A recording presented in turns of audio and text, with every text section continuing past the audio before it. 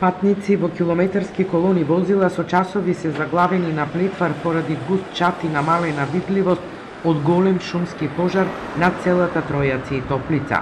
Сообраќајот на патот Пиле Просома е во прекин во двата правца од 15 часот и 40 минути, информираат од Автомотосојузот.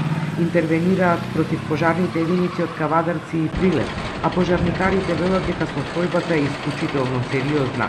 Пожарот избувнал денеска после 13 часот, а вечерва пламените јазици веќе се до патот. Гори шума, нискостеблести растенија и трева.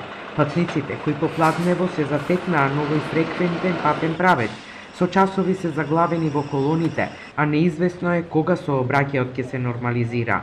Полиција дојде и кажа дека многу чати мало не може да се помине возило до Дреново наводно. Горела шумата горе. Не ми кажал никој ништо кога ќе биде пуштен, од кај не знаеме. Кај ќе поминиме тогаш. Тоа е тоа. Јас се чудим, питал сам таму луѓе и каже да нема друга алтернативу за Скопје сад да идеме. Јас се чудим, не знам. Во Прилепско активни се пет пожари, покрај големиот пожар на Плетвар, гори и во близина на селата Подмол, Бонче, Дебрешта и Долненско, каде опожарена е нискостеблеста шума и трева.